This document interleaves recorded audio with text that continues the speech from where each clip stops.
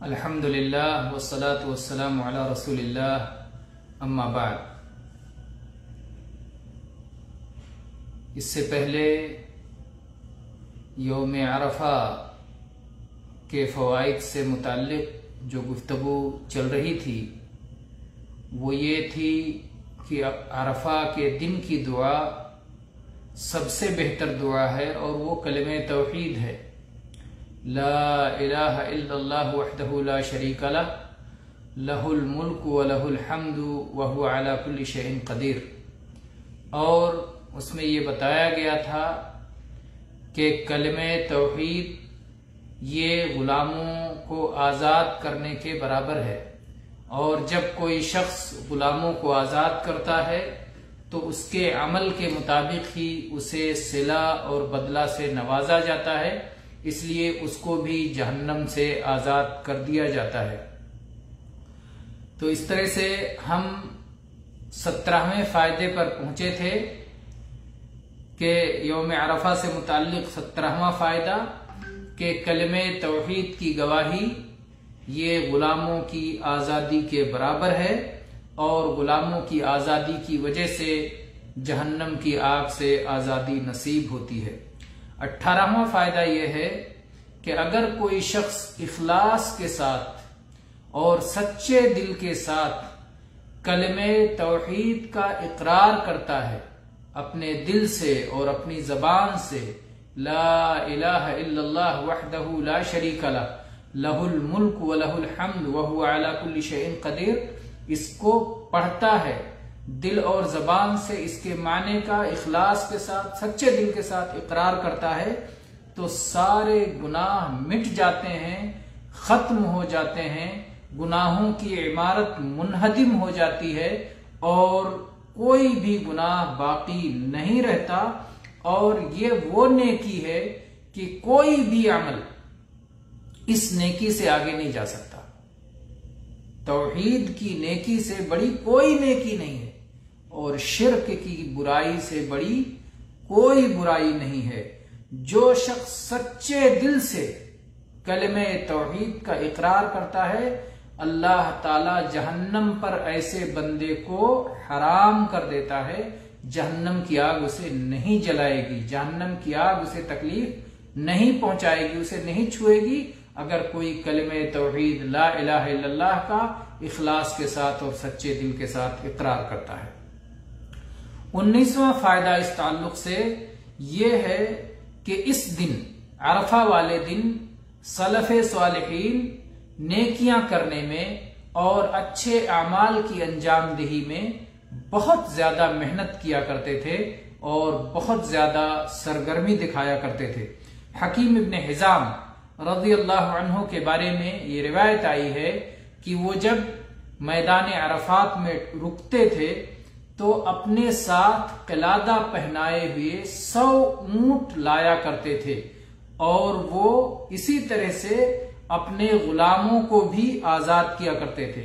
सौ गुलाम और किलादा पहनाए हुए कुर्बानी के लिए सौ ऊँट एक साथ लाते थे और फिर वो अपने गुलामों को आज़ाद करते थे मैदान अरफात में। और ज़ाहिर बात है कि ऊँट को मैदान अरफात में जबह नहीं किया जा सकता है।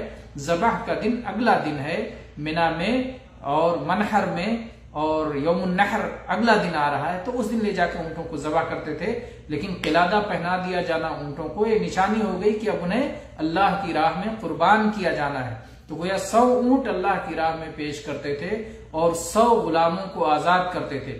जब कोई एक गुलाम आज़ाद करते थे तो उस वक्त लोग गिरियोजारी करने लगते थे और रोने की आवाज़ें बुलंद होने लगती थीं और वो कहने लगते थे कि, या अल्लाह, ये तेरा बंदा, इसने एक गुलाम को आज़ाद किया है। या अल्लाह, तू भी इसे जहन्नम की आग से आज़ाद फरमा दे। और इसी तरह से लोग अपने बारे में भी दुआ करते थे कि, या अल्लाह, हम सब तेरे गुलाम हैं। या अल्लाह, तू हमें भी जहन्नम की आग से आज़ाद फरमा दे। और ये लोग कहा, कहते थे और जारो कितार अल्लाह के सामने रोते थे।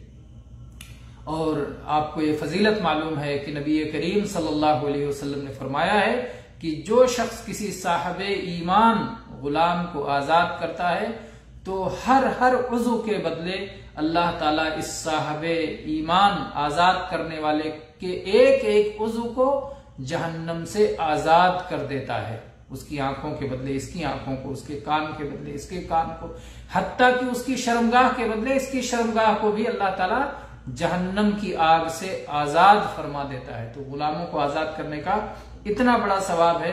अब जब गुलामों की आज़ादी हमारे लिए मुयसर नहीं है तो हम वो अमाल कर सकते हैं जिसमें गुनाहों की आज़ादी का सवाब है और उसमें से एक अमल है कलम तोहीद का इकरार, ऐलान, उसकी नशर इशात ला शरीक लहुल मुल्क व लहुल हम्द शैइन कदीर।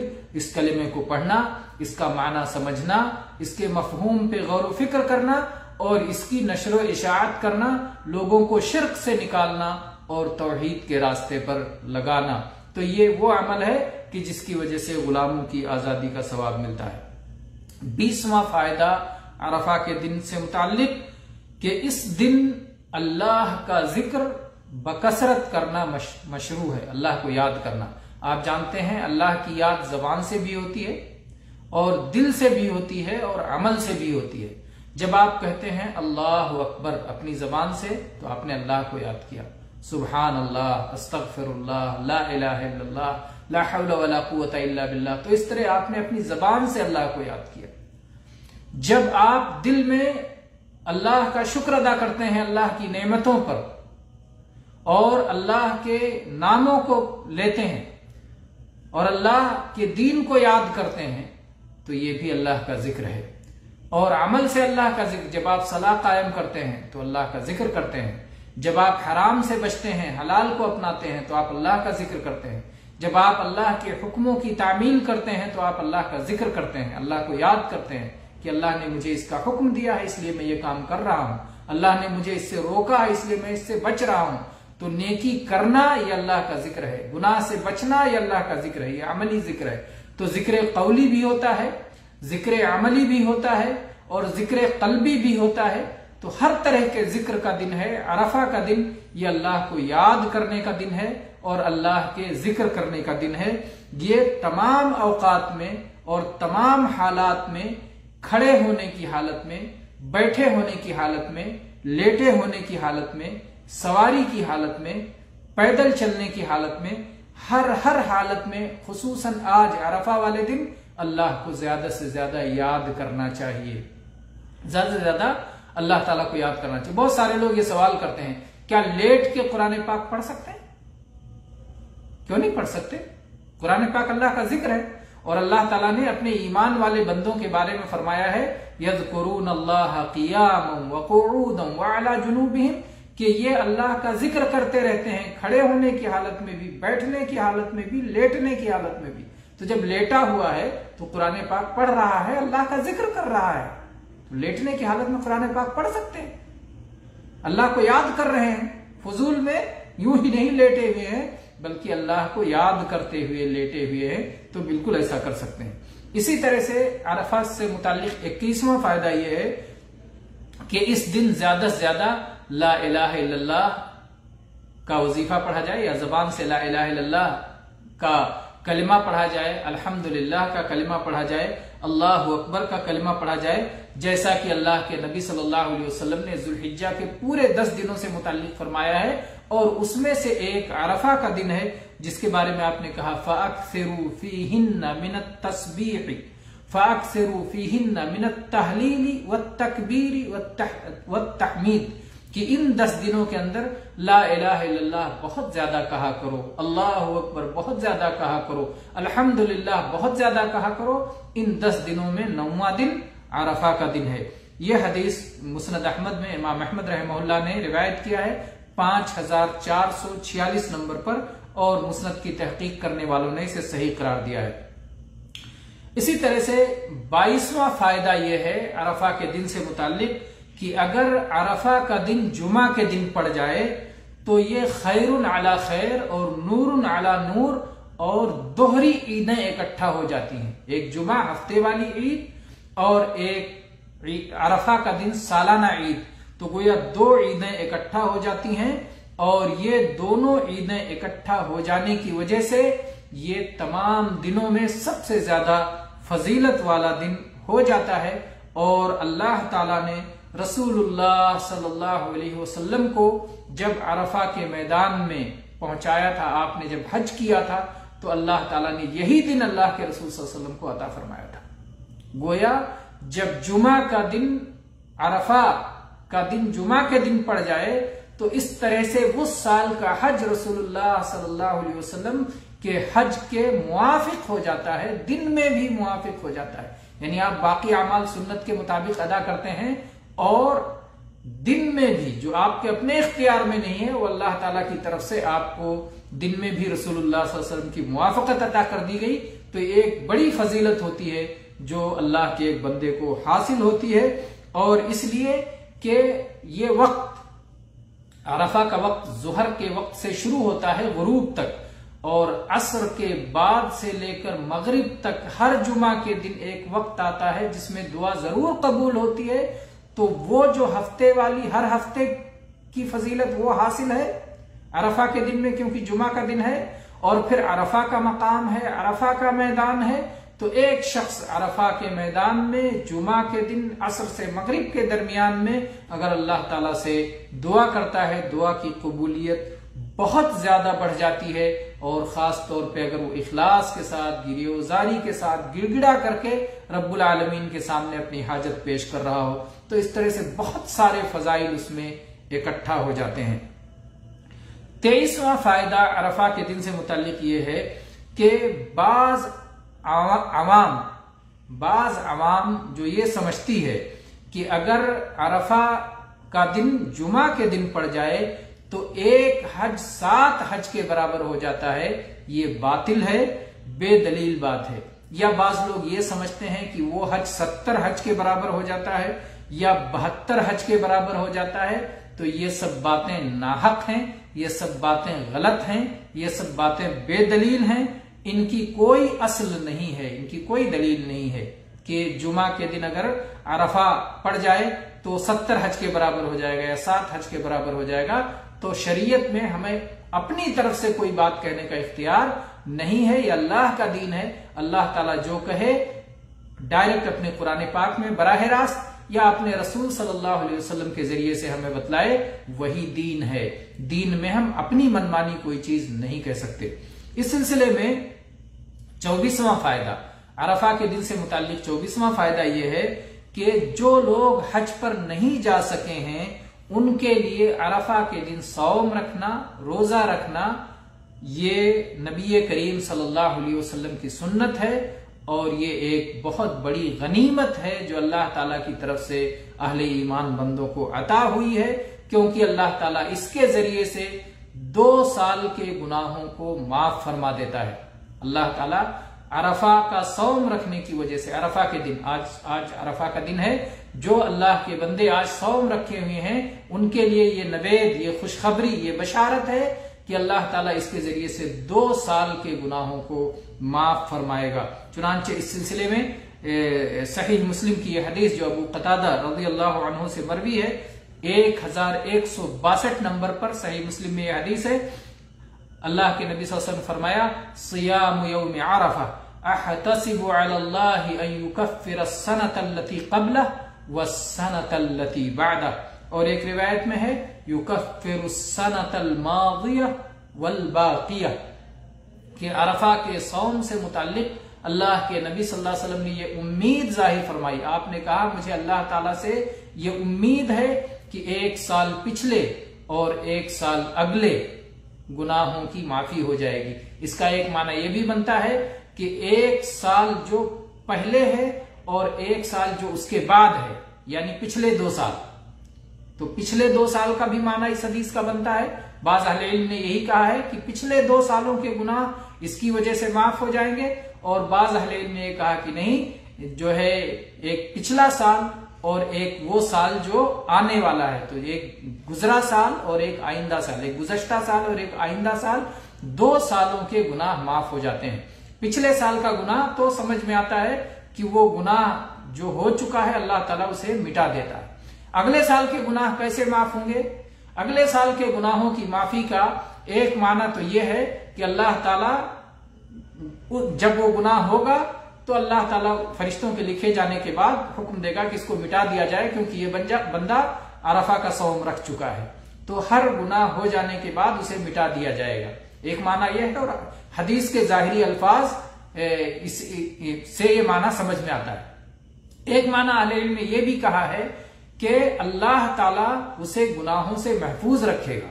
एक बंदा जो अल्लाह के लिए अल्लाह की इबादत के लिए आगे बढ़ता है अरफा का दिन ढूंढ करके उस दिन सौम रखता है और अपने इख्तियार से अल्लाह ताला की उबूदियत को इख्तियार करता है इख्तियारी तौर पर उसे अपने लिए अपनाता है तो अल्लाह ताला उसके जो है गुनाहों से उसकी हिफाजत का इंतज़ाम फरमाएगा। तो अगले साल उसे गुनाहों से महफूज रखेगा। जिस तरह पिछले सालों में से गुनाह हो गए थे तो उन गुनाहों की तो माफ़ी कर दी और अगले साल अल्लाह ताला गुनाहों से हिफाजत फरमाएगा। तो बहुत सारा माना अहले इल्म ने इसका बयान किया है। तो बहरहाल ये जो लोग हज में नहीं जा सके हैं, उनके लिए अल्लाह ने ये गनीमत अता की है कि वो अरफा के दिन सौम रखें और दो साल के गुनाहों की माफ़ी हासिल करें। पच्चीसवां फ़ायदा यह है कि सौम अरफा के बारे में बेहतर तरीका यह है कि आदमी रात ही में उसकी नीयत कर ले। अगरचे नफली सौम में ये बात जायज़ है कि आदमी दिन ही में नीयत करे लेकिन सौम अरफा चूँकि एक मुतन नफ, नफली सौम है इसलिए बेहतर यह है कि रात ही में उसकी नीयत कर ले। और जब रात ही में नीयत कर लेगा तो सौम का जो वक्त होता है, इब्तदाए दिन से इख्ताम दिन तक, दिन के अख्ताम तक, ये पूरा वक्त उसे सौम की हालत में मिल जाएगा। तो इसलिए सबसे बेहतर और सबसे कामिल तरीका यह है कि सौम अरफा के लिए भी आदमी रात ही में नीयत कर ले और रात में बेदार होकर के सहरी भी खाए क्योंकि शहरी खाना ये नीयत की एक जाहिरी अलामत है। नीयत नहीं है शहरी खाना। नीयत की अलामत है। एक आदमी शहरी खा रहा है तो गोया वो इस बात की अलामत है कि वो सौम रखना चाहता है। तो शहरी खाना ये उसकी नीयत की अलामत है। सौम रखने के इरादे की जाहिरी अलामत है। तो जो शख्स रात ही में नियत कर लेता है, रात ही में बेदार होकर के शहरी खाता है तो उसे मुकम्मल अजर सवाब मिलता है। किसी किस्म की कमी नहीं होती। लेकिन अगर एक शख्स दिन में नियत करता है तो सौम तो उसका काबिल कबूल होगा। लेकिन वो हिस्सा जो सौम के बगैर बाकी रह गया है, मसलन तुलु आफ्ताब के एक घंटे बाद नियत की तो एक घंटा उसका सौम के बगैर, नियत के बगैर खाली रह गया। तो क्या उसका भी अजर पाएगा? यह अहले इल्म में इख्तलाफी मसला है। तो इसलिए जो शख्स रात ही में नियत कर लेता है, उसे बिला इख्तलाफ पूरा अजर सवाब हासिल होगा। छब्बीसवां फ़ायदा योम अरफा से मुतल यह है कि इस दिन एक इंसान को सिर्फ़ अपने ही सौम की फ़िक्र नहीं होनी चाहिए, बल्कि अपनी बीवी, अपने अहलो अयाल अपने दोस्त अहबाब के सियाम की भी फ़िक्र होनी चाहिए, उन्हें भी इसकी इत्तला देनी चाहिए, उन्हें भी बतलाना चाहिए। इसके ज़रिए से उसे नेकी की नशर इशात का सवाब मिलेगा, नेकी बतलाने का सवाब मिलेगा, और इसी तरह से घर के अंदर अपने जब शहरी खाने बेदार हो तो उनको भी जगाए, अपने बच्चों को भी जगाए, अहलो अयाल को भी जगाए कि वो भी उठें और वो भी शहरी खा लें। तो इस तरह से सब अजर सवाब में शरीक हो जाएँगे और नेकी में सब बढ़कर हिस्सा लेने वालों में हो जाएँगे। सईद इबन जुबैर रहमहुल्लाह फरमाते हैं आई केदू खदम अकुम यतसरून योम अरफा अपने खादिमों को शहरी के वक्त बेदार किया करो कि अरफा का सौम रखने के लिए वो भी शहरी कर लें। सत्ताईसवां फ़ायदा, योम अरफा से मुतालिक सत्ताईसवां फ़ायदा यह है कि अगर अरफा का दिन जुमा के दिन पड़ जाए या सनीचर के भी दिन पड़ जाए तो भी तनहा इस एक दिन का सौम रखने में कोई हर्ज नहीं है। जैसे नबी सल्लल्लाहु अलैहि वसल्लम ने मना किया है कि अकेले जुमा के दिन सौम न रखो। अलबत्ता उससे पहले रखा हो या उसके बाद रखने का इरादा हो। इसी तरह से आपने कहा, अकेले सनीचर के दिन सौम न रखो, हफ़्ते के दिन सौम न रखो। लेकिन अरफा का दिन अगर सनीचर के दिन पड़ जाए या जुमा के दिन पड़ जाए तो सौम रखने में कोई हर्ज नहीं है। इसलिए कि ये मशरू सियाम में से है। ये इसलिए किसी बंदे ने सौम नहीं रखा कि ये जुमा के दिन है या ये सनीचर का दिन है, बल्कि बंदे ने सौम इसलिए रखा है कि ये अरफा का दिन है। इसलिए दोनों अहादीस में कोई टकराव नहीं है। अरफा के दिन की नीयत से सौम रखा जा रहा है, अगर वो शनिचर को या जुमा को पड़ जाए। अट्ठाईसवां फ़ायदा यह है कि अगर किसी शख्स के रमज़ान के सियाम बाकी हो, रमज़ान में कुछ सौम फौत हो गया सफ़र की वजह से, बीमारी की वजह से, किसी और उजर की वजह से या औरतों के हैज़ की वजह से कुछ सौम छूट गया है तो उसके बावजूद रमज़ान की कजा करने से पहले, नफल की नीयत से आदमी अरफा के दिन का सौम रख सकता है। क्योंकि उसके कजा करने के लिए उसके पास लंबी मुद्दत है, वो अगले रमज़ान तक कजा कर सकता है। पूरे 11 महीने हैं। रमज़ान की कजा के लिए उसके पास 11 महीने हैं। और अरफा का सौम इसका वक्त मुतन है, ये दिन गुजर जाएगा तो इसका मौका खत्म हो जाएगा चांस खत्म हो जाएगा। इसलिए रमज़ान की कजा के बगैर अरफा का सौम रख सकता है। दूसरी सूरत यह है कि आदमी दोनों को जमा कर ले, अब उसका बयान आगे आएगा। तो एक सूरत यह है कि आदमी अरफा का सौम रखे और रमज़ान की कजा को मौखर कर दे, इसलिए कि सही कौल यह है, उलमा के मुख्तलिफ़ अकवाल में सही कौल यह है कि रमज़ान की कजा से पहले नफल सोम रखा जा सकता है, जैसे शवाल के छह सोम रखे जा सकते हैं, अरफा का सोम रखा जा सकता है, तासुआ और आशूरा का सोम रखा जा सकता है। तो रमज़ान की कजा से पहले मुतन नफली सोम रखा जा सकता है, उसका रखना जायज़ है। क्योंकि कजा का वक्त कुशादा है और इस नफले मुतन का वक्त तंग है। अगर ये फौत हो जाएगा तो फिर फौत हो जाएगा। उनतीसवां फ़ायदा उनतीसवां फ़ायदा यह है कि रमज़ान की कजा कर ले, अरफा के दिन सौम रखे। इस नीयत से कि मैं रमज़ान के एक दिन की कजा कर रहा हूँ और साथ में यह नीयत भी करे कि आए, अल्लाह आज अरफा का दिन है, इसका अजर सवाब भी मुझे अता फरमा दे। तो ऐसे शख्स की कजा हो जाएगी यकीनी तौर पर, क्योंकि वो कजा की नीयत से सौम रख रहा है, और अल्लाह ताला से उम्मीद है कि वो अपने फजलो करम से अरफा के दिन का सवाब भी अता फरमाएगा, जैसा कि बाज इल्म ने कहा है। शेख इबन वसैमीन का भी यही फतवा है कि अरफा के दिन अगर कोई शख्स कजा सौम रखता है तो कजा का भी सवाब मिलेगा। और चूँकि उस वक्त सौम रख रहा है, जिस वक्त की मखसूस फजीलत है तो इनशाला उसका भी अजर सवाब उसे मिलेगा। तीसवा फ़ायदा यह है कि लेकिन अफजल उसके हक में यह है कि वो शख्स कजा एक मुकम्मल दिन में करे और अरफा का सौम मुकम्मल अलग से रखे। ये अफजल और अकमल है, ताकि अरफा में किसी और की शमूलियत और शिरकत ना हो, नफिल की नीयत से यह सौम रखा जाए और जो फ़र्ज़ उसके ऊपर बाकी है, कजा है, कर्ज है, उसको बाद में अदा करे ताकि अरफा के दिन की भी मुकम्मल फजीलत हासिल हो जाए और रमज़ान के सौम की कजा भी मुकम्मल तौर पर हासिल हो जाए। ये अकमल और अफजल है। इकतीसवां फ़ायदा यह है कि अगर कोई शख्स हालत सफ़र में है और वो अरफा का सौम रखना चाहता है तो अगर बहुत ज़्यादा मशक्कत ना हो तो उसे अरफा का सौम रखने में कोई हर्ज नहीं है, ताकि दो साल के गुनाहों की माफ़ी की फजीलत उसे हालत सफ़र में भी हासिल हो जाए।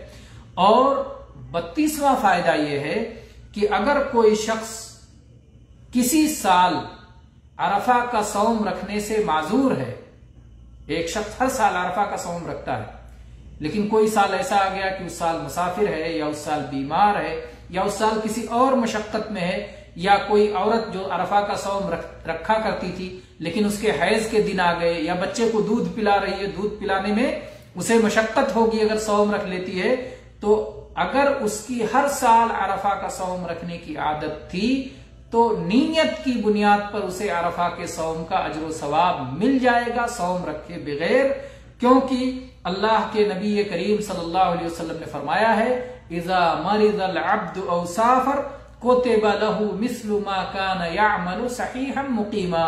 कि जब कोई बंदा सफ़र करता है या बीमार हो जाता है तो उसको सेहत और इकामत की हालत में जो अमल किया करता था, वही अजर सवाब अल्लाह की जानब से लिखा जाता है। तो इसलिए उज्र की बिना पर अगर कोई शख्स में अरफा न रख सके, और वो पहले रखा करता था तो उसकी नीयत की बिना पर और उसके दवाम की बिना पर, हमेशा जो अमल किया करता था, उसकी बिना पर अल्लाह ताला अपने फजल से उसे ये अजर सवाब, सौम रखे बगैर अता फरमाएगा तैतीसवां फ़ायदा यह है योम अरफा के ताल्लुक से कि अरफा के दिन का सूरज डूबने न पाए कि आपके गुनाहों के सूरज भी डूब जाएँ। अरफा के दिन का सूरज डूबने से पहले पहले अपने गुनाहों के सूरज को भी डुबा दीजिए। तोबा इस्तफार कर लीजिए और अल्लाह का ज़िक्र कर लीजिए, सौम कर लीजिए, जो जिसकी अल्लाह ने जिसका हुक्म दिया है, ताकि सारे गुनाह मिट जाए। चौतीसवा फ़ायदा यह है कि अरफा का दिन वो दिन है कि आज से तकबीर मुकैद का वक्त शुरू हो जाता है तो सलात फरीजा के बाद आदमी तकबीर पुकारेगा, अल्लाह अकबर अल्लाह अकबर अल्लाह अकबर अल्लाह अकबर वलिल्लाहम ये अरफा के दिन सलात फजर से लेकर और अयाम तशरीक यानी तेरह जिलहिजा की असर तक ये सिलसिला जारी रहेगा कि फ़र्ज़ सलातों के बाद इमाम और मुख्तदी ये तकबीर पुकारेंगे।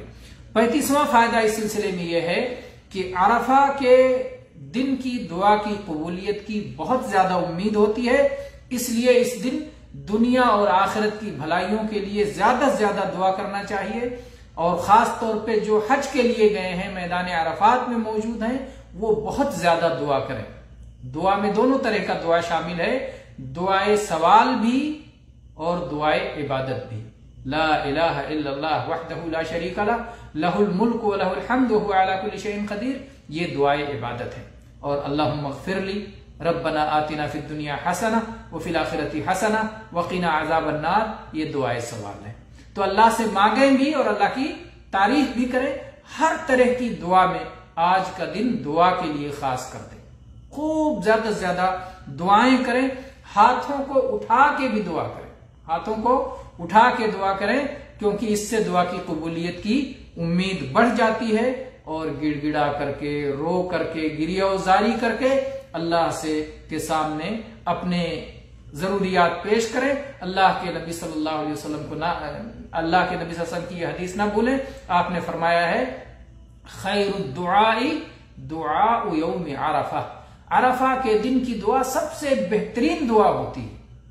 तो अरफा के दिन की दुआ को ना भूलें ये सुनन तिरमिजी में तीन हज़ार पाँच सौ पचासी नंबर की हदीस है और अल्लाह मालबानी ने हसन करार दिया है। तो ये हो गए पैंतीसवां फ़ायदा। छत्तीसवां फ़ायदा यह है कि दुआ में आपका दिल हाजिर होना चाहिए। ये नहीं कि जबान से क्या कह रहे हैं, दिल को कोई खबर नहीं है।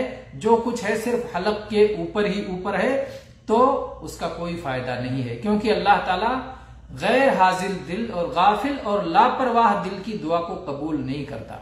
आप लघु में जो है, मशगूल हैं और यूँ ही जबान चल रही है तो इसका कोई फ़ायदा नहीं। दिल की हाजिरी के साथ और अल्लाह ताला की कुर्बत का शऊर रखते हुए और अल्लाह के फजलो करम का एहसास करते हुए कि आज अरफा का दिन है और आज अल्लाह का फजल आम होता है और आज अल्लाह ताला अपने बंदों से करीब हो जाता है और आज आसमान दुनिया पर नजूल फरमाता है और आज अल्लाह ताला जहन्नम से आज़ाद करता है और आज अल्लाह ताला की बख्शिश आम होती है।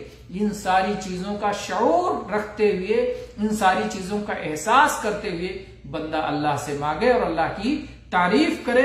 जब ये सब सोचेगा और गौर करेगा तो उसका दिल नर्म होगा। और फिर अल्लाह से उस के साथ, दिल की हाजिरी के साथ और शऊर और एहसास के साथ जो मांगेगा, अल्लाह ताला उसे यकीनन आता फरमाएगा। और सैतीसवां फ़ायदा जिस पर हम इस दर्स को खत्म करते हैं, सैतीसवां फ़ायदा यह है कि कुरान पाक में जो दुआएँ आई हैं, या नबी करीम सल्लल्लाहु अलैहि वसल्लम से जो दुआएँ आई हैं, बेहतर यह है कि उन दुआओं को इख्तियार करें। उन दुआओं का माना समझे, माना सीखे, और उन दुआओं को इख्तियार करें। जैसे रब्बना आतिना फिद दुनिया हसना व फिल आखिरती हसना वकीना अजाबन्नार। ये वो दुआ है जिसे नबी वसल्लम बहुत ज़्यादा पढ़ते थे। इसलिए कि ये बहुत जामे दुआ है।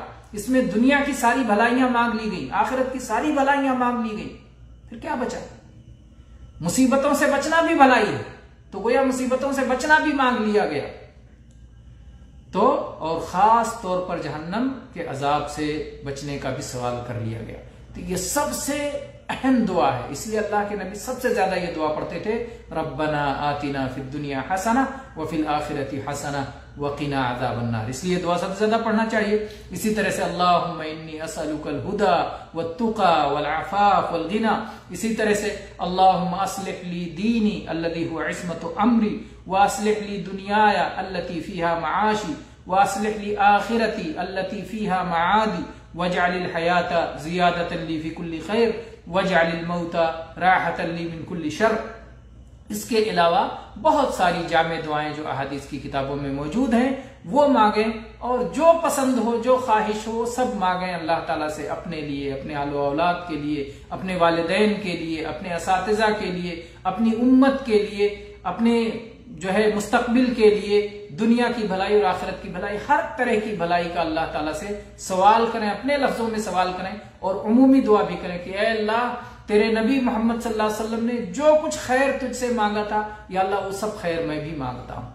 अल्लाह, तेरे नबी मोहम्मद वसल्लम ने जिन जिन शरूर आफात और बलाया और मसाइब से तेरी पनाह तलब की थी अल्लाह उन सबसे मैं भी पनाह तलब करता हूँ। तो इस तरह से अमूमी दुआ करके ताकि सारी चीज़ें शामिल हो जाएँ। हमारा इल्म भी कम है और हमें बोलने का सलीका भी नहीं है। तो ये सब जब हम अल्लाह के सुपुर्द कर देते हैं तो हमें अल्लाह ताला वो वो चीज़ें अता कर देता है जो हमारे वहम गुमान में भी नहीं होता। अकुल कौली हादा व अस्तगफिरुल्लाह अली वलकुम मिन कुल्ली दम गफूरुर रहीम।